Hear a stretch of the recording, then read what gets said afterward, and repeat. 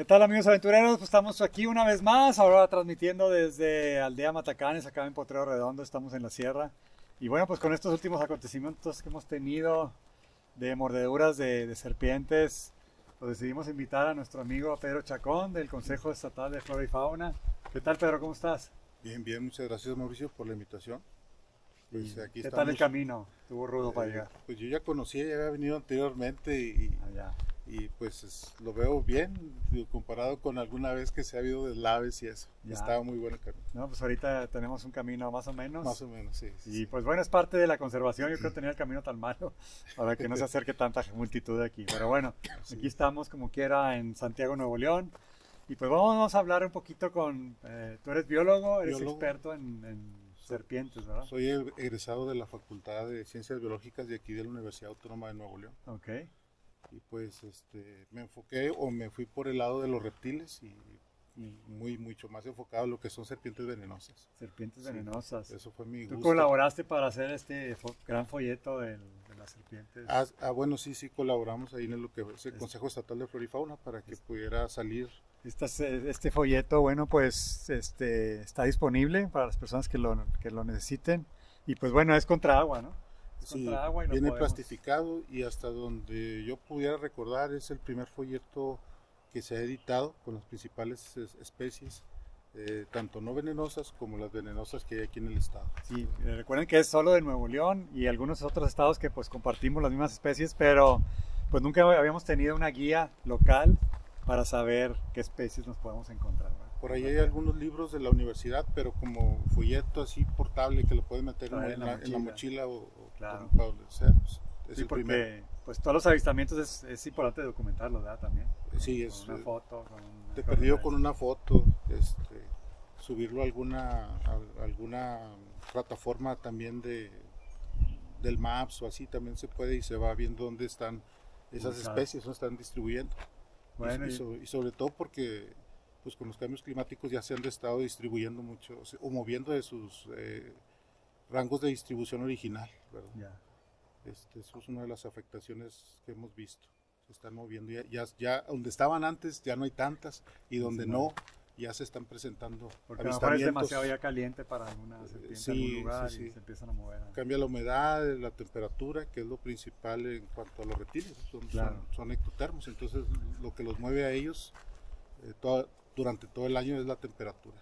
Van, van en función, todos sus ritmos, sus, sus, ciclos reproductores, todos van en función de, la alimentación, desplazamientos, todo, todo va en función de la temperatura.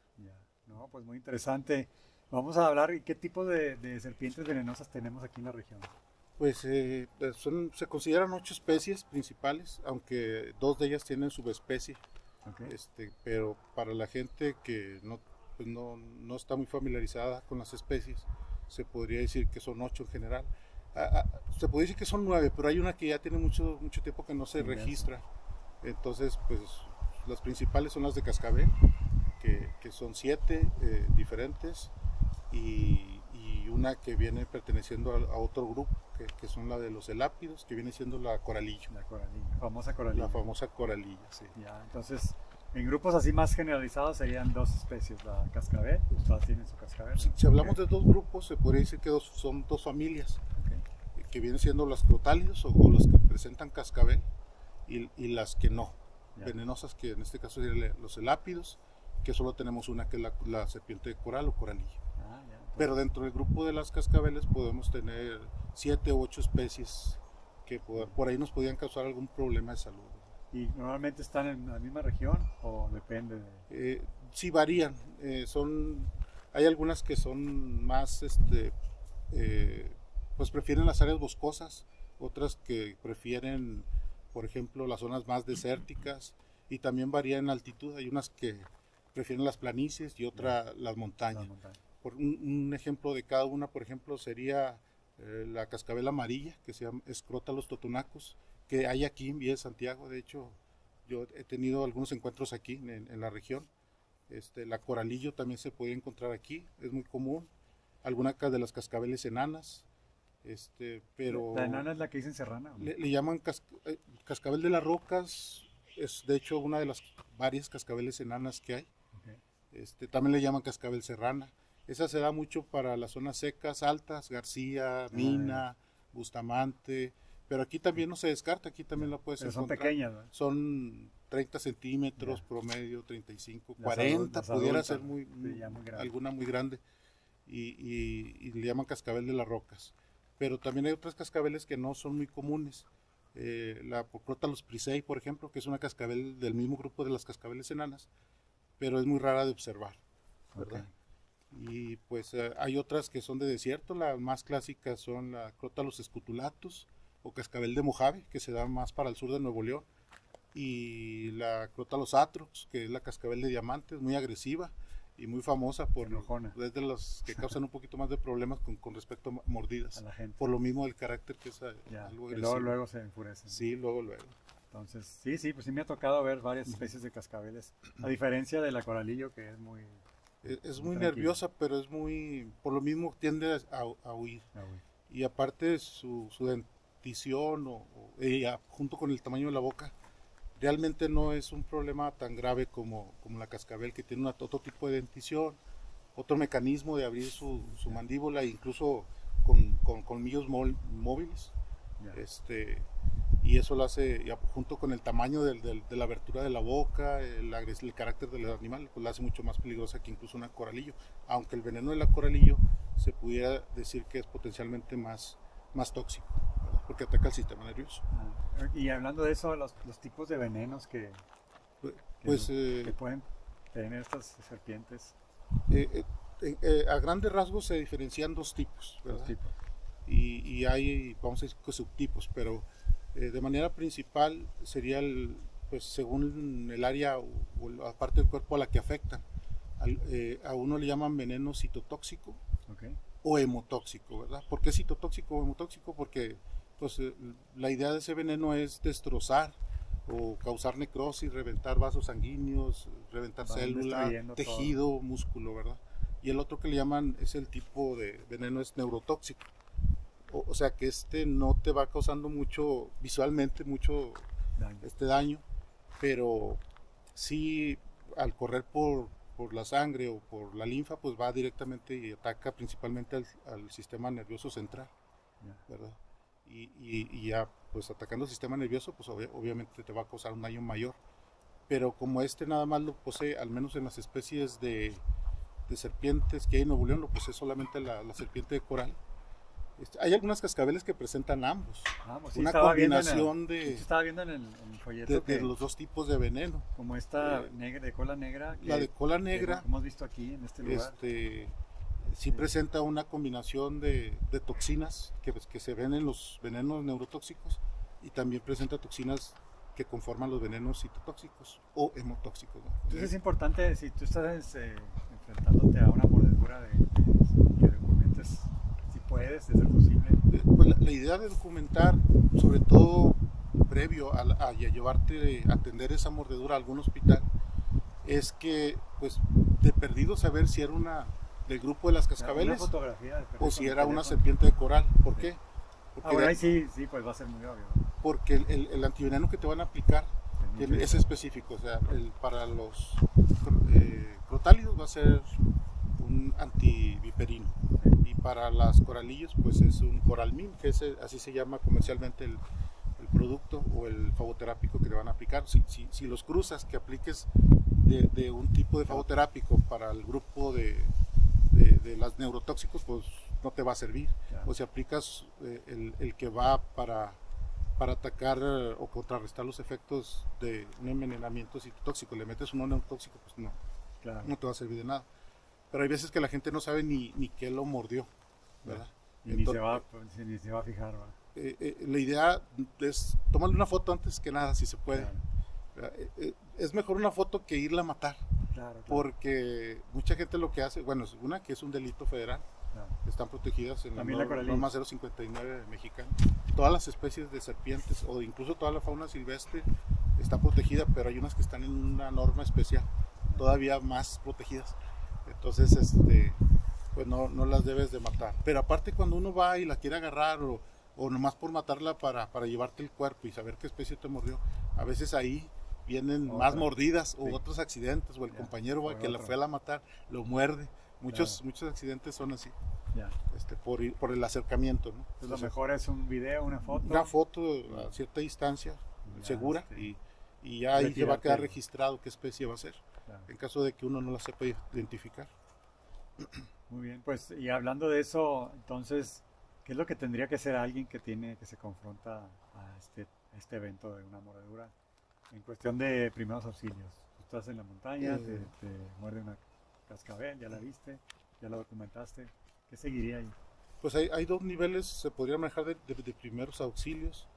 Cuando ya tienes la capaci- capaci- capacitación previa a, a que pueda haber un accidente de mordedura, pues te capacitas, ¿no? Y ya traes un conocimiento. Pero generalmente las personas que vamos a, a campo, la mayoría nos ocurre un accidente y no sabemos ni cómo reaccionar.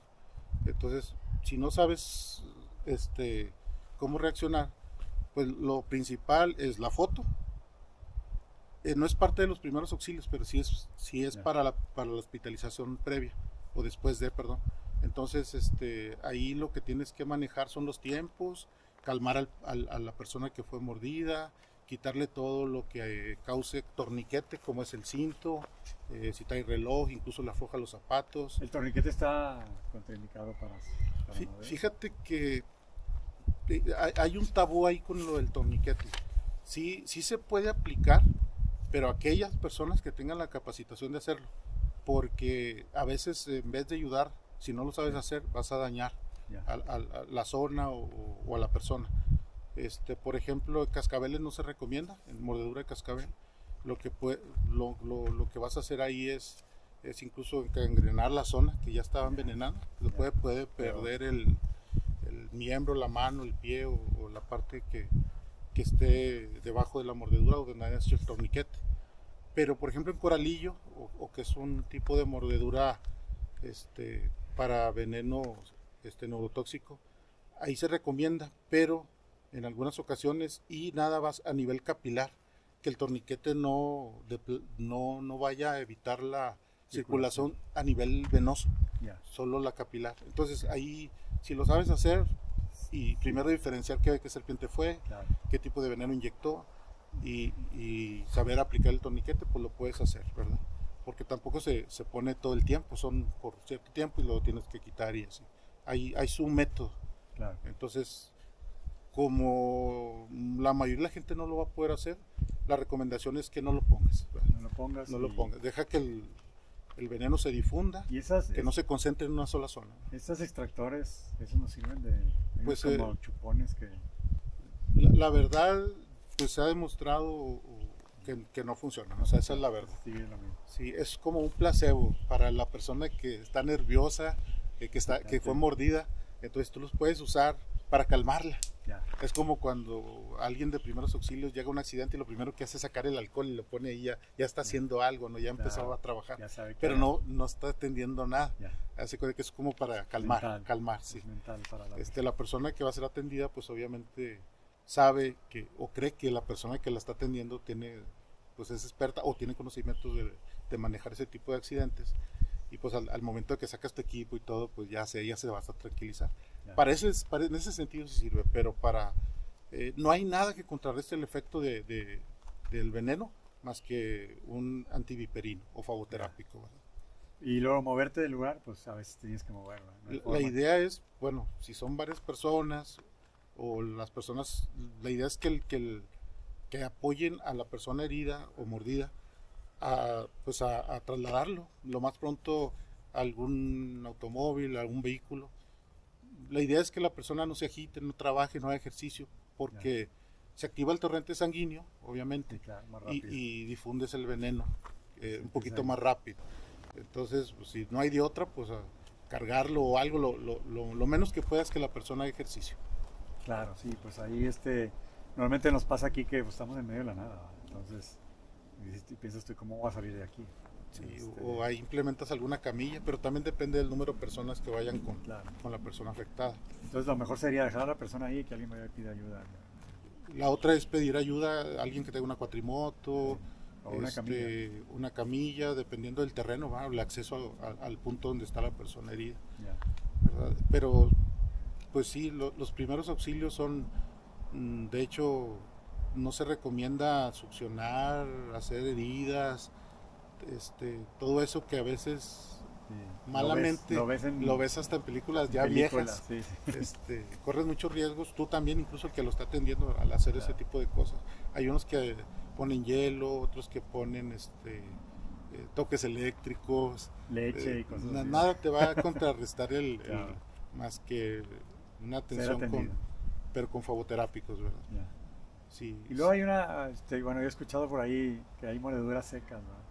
Ahí, hay, bueno, si te toca la suerte, en promedio se calcula que es un 25%, de, o sea que de cuatro serpientes que te muerdan, una te puede, puede que no te inocule veneno, ¿no? El 25% son mordidas secas. Que lo va a reservar para una especie que se va a comer. O, puede ser que ya comió y ah, por alguna razón ya lo usó. Aunque generalmente el veneno se usa en varias dosis, o sea, una, una cascabel, por ejemplo, que capture, que muerde un, algún roedor, algún conejo para comer, no va a vaciar todas sus glándulas, generalmente, pero bueno, hay casos en que sí puede llegar a ser. O simplemente por alguna razón no, no las activó al momento de morder, aunque las haya traído llena de, veneno. Este, entonces pues no va a haber una inoculación, solamente va a ser la herida. Que son dolorosas porque los colmillos no son delgados. Este, bueno, depende del tamaño del ejemplar. Pero en las atros, que son las que causan un poquito más de accidentes, se podría decir, este, por su carácter, sí tienen los colmillos algo gruesecitos. De hecho, por ahí traigo algunos colmillos. ah, ahorita los, ahorita los vemos. O sea, la vestimenta también, pues no importa que traiga la mezclilla, la pasa. bueno, pues eh, la vestimenta depende de la especie. Una coralillo no te va... Para empezar es difícil que te muerda, pero si te llega a morder, este, pues una mezclilla probablemente no la vaya a pasar. Pero una atrox la pasa fácilmente. Depende de la especie que te vaya a morder, que, te toque, que te pudo haber mordido, mordido pero este, pues hay medidas para, eso más, serían medidas como de prevención. Cuando andes en campo, pues lo que tienes que hacer es eh, siempre ver dónde vas a pisar, no, no, salir de noche o no salir sin linterna al menos, eh, usar el calzado adecuado. Muchos hasta andan en sandalias o tenis de, de tela muy delgada. Sí, pues de corredor. Este, depende de qué actividad hayas, hagas no andes levantando troncos sin guantes o piedras, o cuando escalas, ¿no? Que vas metiendo las, las manos en las ranuras.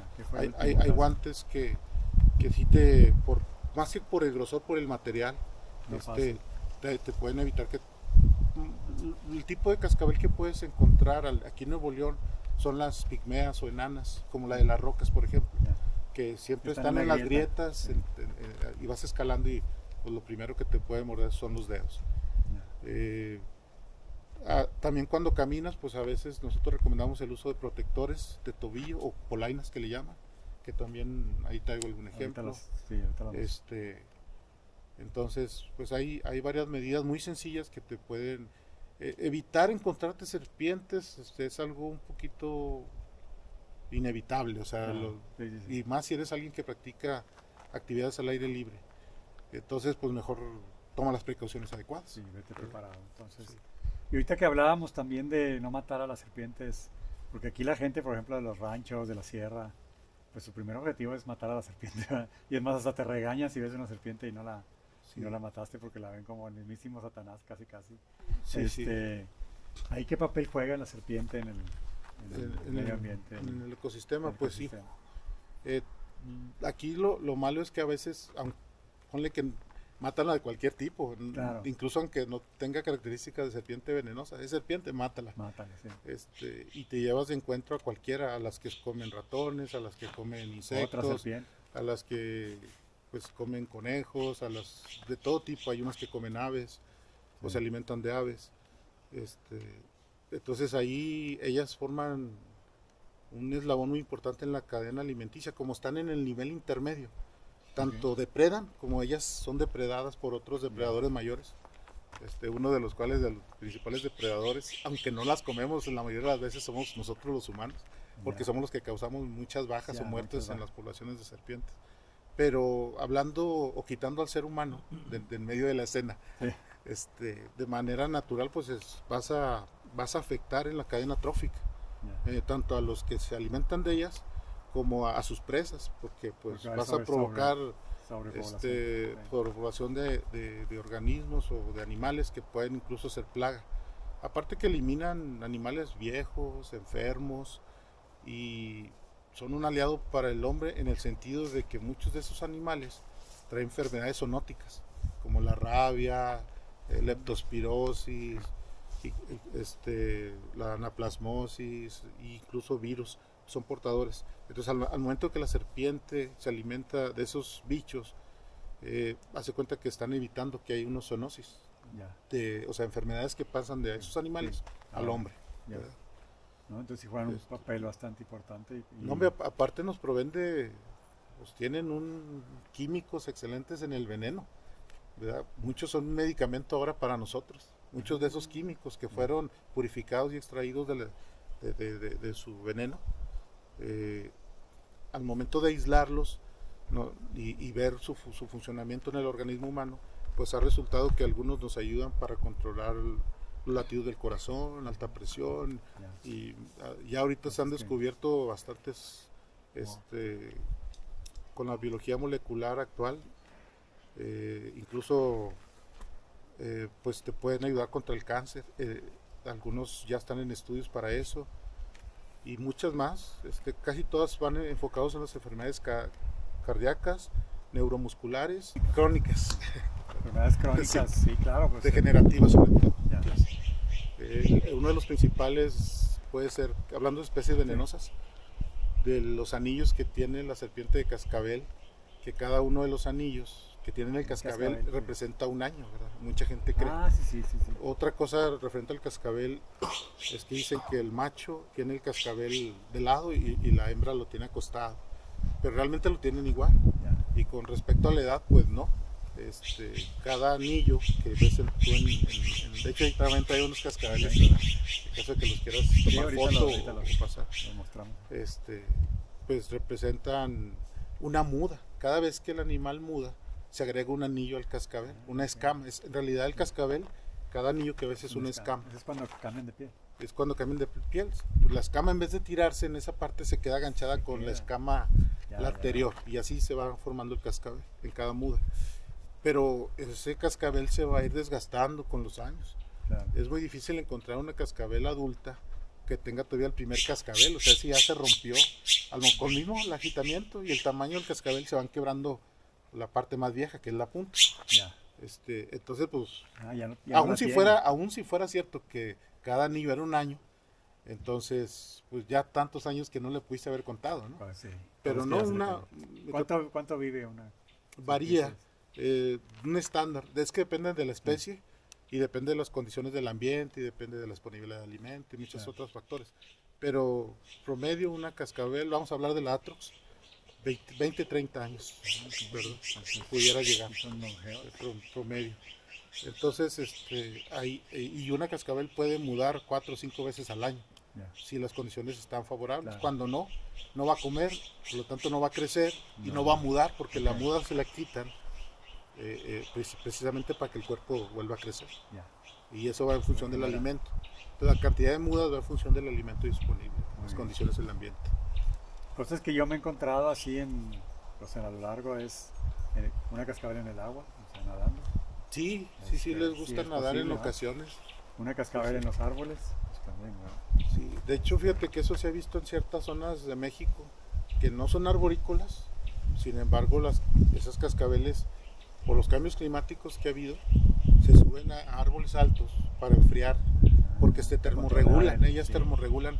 Si están en, un suelo donde no haya escondites o se hayan alejado mucho de alguna guarida, eh, lo que hacen es subirse a los árboles, porque ya está muy caliente, más de lo de lo normal, porque los cambios climáticos desgraciadamente van a, tienden a que aumente la temperatura, no a que baje.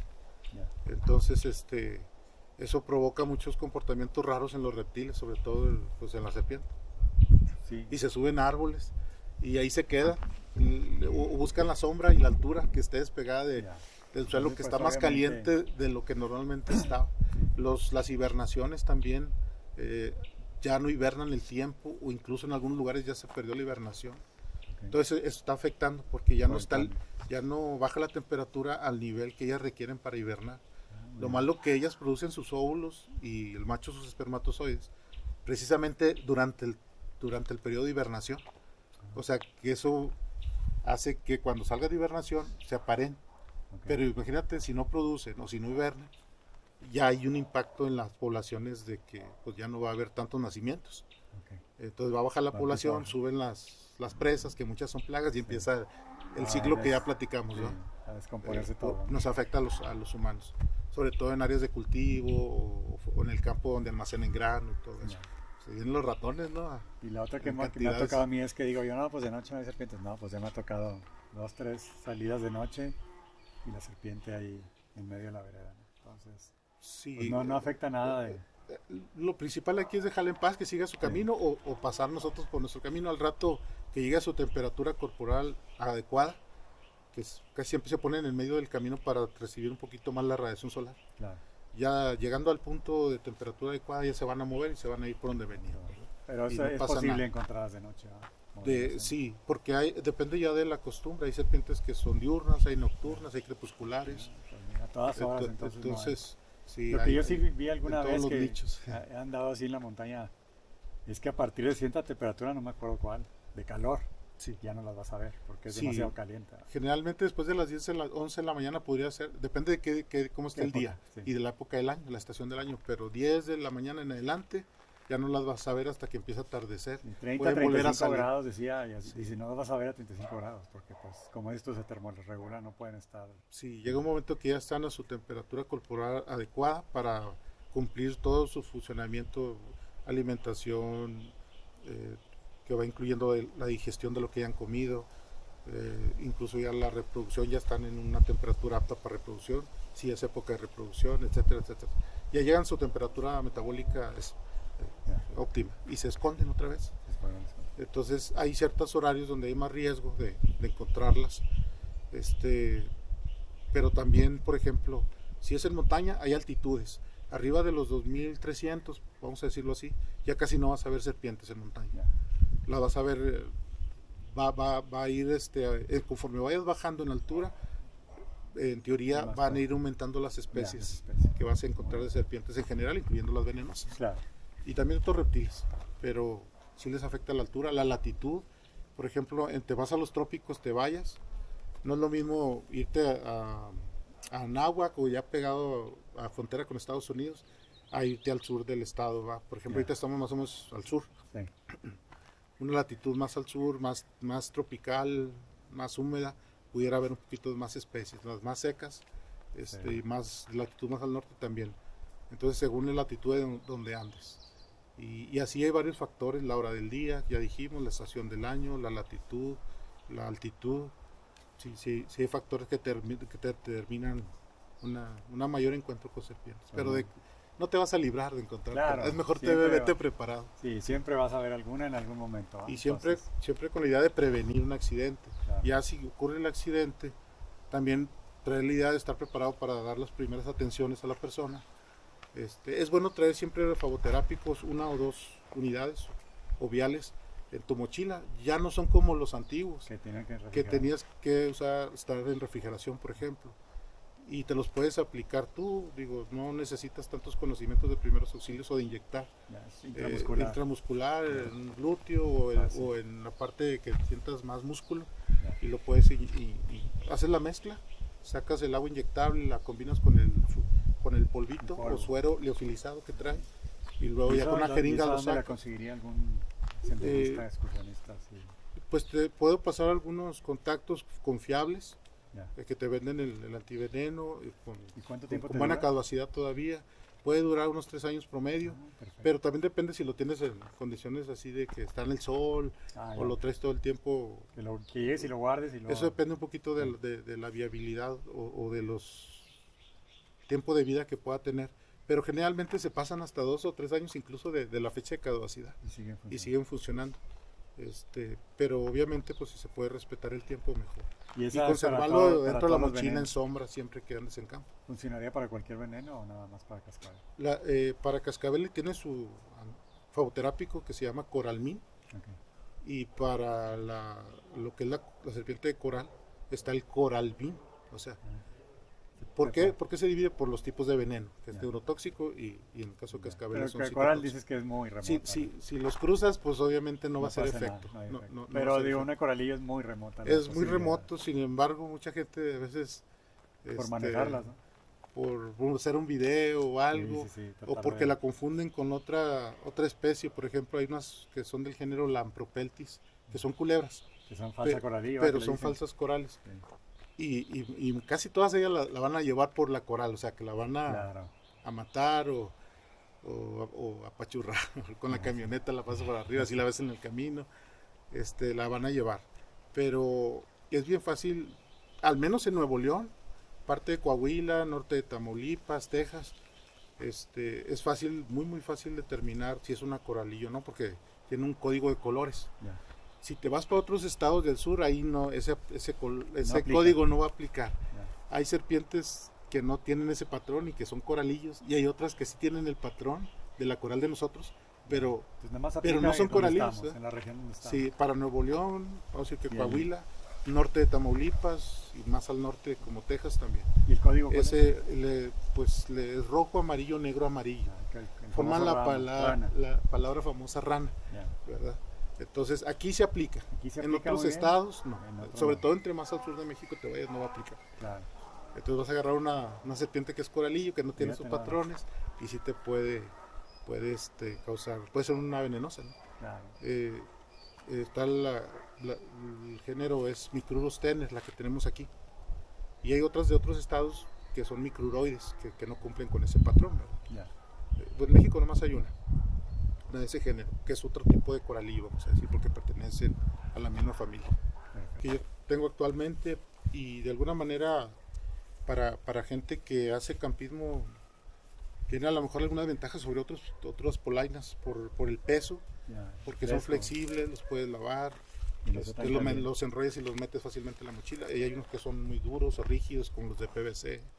Hay, hay otros no materiales. una, un. Aunque parece tela, eh, de hecho mucha gente me ha, me ha preguntado, parece tela como si fuera de, pues casi casi como de cualquier Mezclilla, mochila, ¿no? sí, o, de- o una lona cualquiera. Una lona, sí, sí. Pero como tiene un hilado especial de tantos hilos por milímetro eh, que tiene que cumplir y ya están aprobados, están certificados, de hecho tiene ahí un sello en la parte interior.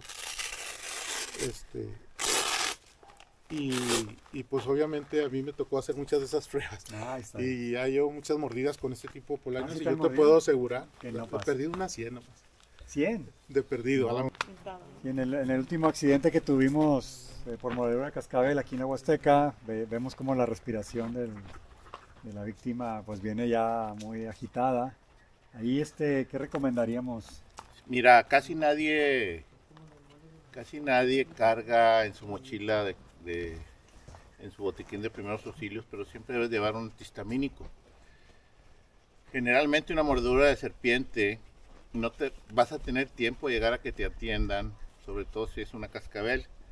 Pero si entras en, eh, si te da un choque anafiláctico, se te empieza a cerrar las vías respiratorias y ahí es donde tienes media hora Te vas a morir o menos. no del veneno. se te cierran las vías respiratorias y te asfixias. Entonces es muy recomendable siempre traer pues un antihistamínico como la me- dexametasona Ok. y traer tres ampolletas en, en tu kit de primeros auxilios con tres jeringas y, y alcohol. ¿Y O se- alguna... ¿Se aplicaría al momento de la mordedura o cuando ya tenga los síntomas? Debes de aplicarlo cuando tengas, pero no nomás es por la mordedura de serpiente, también te puede dar por una picadura de una araña, una, Ah, claro. una abeja, una una hormiga, un alacrán. Sí. Como no te han picado todos los bichos que hay en el monte, tú no puedes saber qué bicho Eres alérgico. es- eres alérgico a eso. Incluso a veces hasta con comida de algo te puede dar un choque anafiláctico severo si eres alérgico a esa comida Claro. o un medicamento. Pues fíjense, nada más, este antihistamínico, pues ese lo puedes cargar Ese sin problema. Vale bien barato, vale menos de 50 pesos la ampolleta. Este, lo, Te te lo venden en cualquier farmacia. Y generalmente lo más importante, siempre que estés en una situación de emergencia, inmediatamente donde tenga señal celular hay que hablar unos, a- a- a- al 911 y decir, llevo una persona con, estas con esta situación, le pasó esto. para que puedas encontrarte con una ambulancia o si la cosa es muy remota, pues que te manden el helicóptero. Pues muy bien, pues este, vamos a agradecer a Pedro, Pedro Chacón y a Francisco por su aportación del CONEF, Consejo Estatal de Flora y Fauna. Y pues bueno, está el folleto, este folleto pues yo creo que es indispensable traerlo. Y pues bueno, vamos a cuidar la, la montaña llevándonos la basura, llevándonos todo lo que nos, nos traemos y dejarla como la dejamos. Y pues bueno, nos vemos en la próxima y muchas gracias por, por venir. No de nada. De nada.